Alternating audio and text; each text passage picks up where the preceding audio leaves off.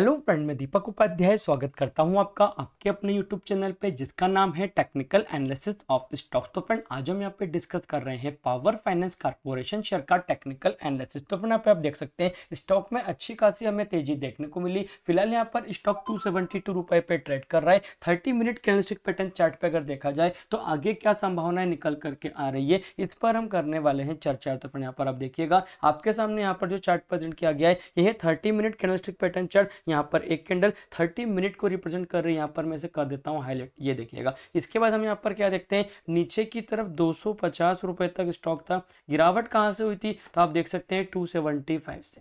यहाँ पर आप देखिएगा, दो रुपए तक स्टॉक था और गिरावट सीधे 250 तक होती है। स्टॉक आपको फिर से ऊपर की तरफ़ जाता हुआ दिखाई दिया, लेकिन फिर से जब गिरावट हुई लगभग लगभग दो रुपए तक जाने के बाद स्टॉक में आ जाती है तेज़ी। ये देखिएगा। यहाँ तक आने के बाद स्टॉक में फिर से गिरावट हुई और ये गिरावट स्टॉक को दो सौ पचपन रुपए पे सपोर्ट प्रोवाइड करवाती है। ये देखिएगा, यहाँ पर सपोर्ट आने के बाद स्टॉक में आती है तेज़ी और ये तेज़ी स्टॉक को ऊपर लेकर के गई और ये जो रेड लाइन आपको दिखाई दे रही है, ये है 200 दिनों के एक्सपोनेंशियल मूविंग एवरेज की लाइन यहाँ से स्टॉक ने ब्रेकआउट लिया है। ये देखिएगा, साथ ही अगर देखा जाए तो ये वाली जो रेंज थी यहाँ पर, इससे भी आपको ब्रेकआउट दिखाई देगा। यहाँ पर आप देखेंगे एक लाइन अगर मैं ड्रॉ करूँ, ये देखिए। यहाँ पर मैंने एक लाइन ड्रॉ कर दी। और इस लाइन के अकॉर्डिंग अगर देखा जाए तो 200 दिनों के मूविंग एवरेज की लाइन के साथ साथ ये वाला जो रेंज हमारा था, यहाँ मैंने रेक्टेंगल बनाया, इस रेंज को यहाँ पर ब्रेकआउट मिल गया।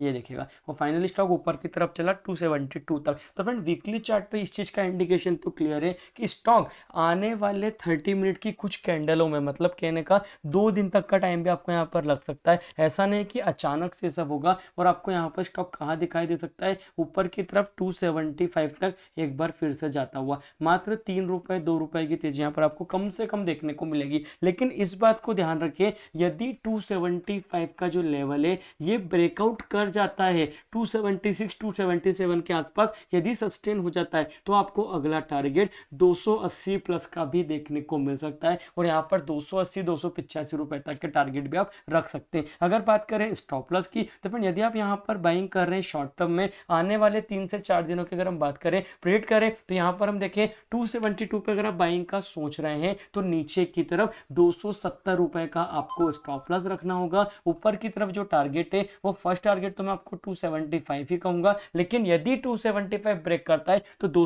रुपए तक के टारगेट आपको बहुत जल्दी यहाँ पर देखने को मिलने वाले तो फ्रेंड ये था हमारा technical view Power Finance Corporation share को लेकर के इसी तरह के और भी वीडियो पाने के लिए चैनल को अभी लाइक शेयर और सब्सक्राइब करना बिल्कुल भी ना भूले। Thank you so much for watching this video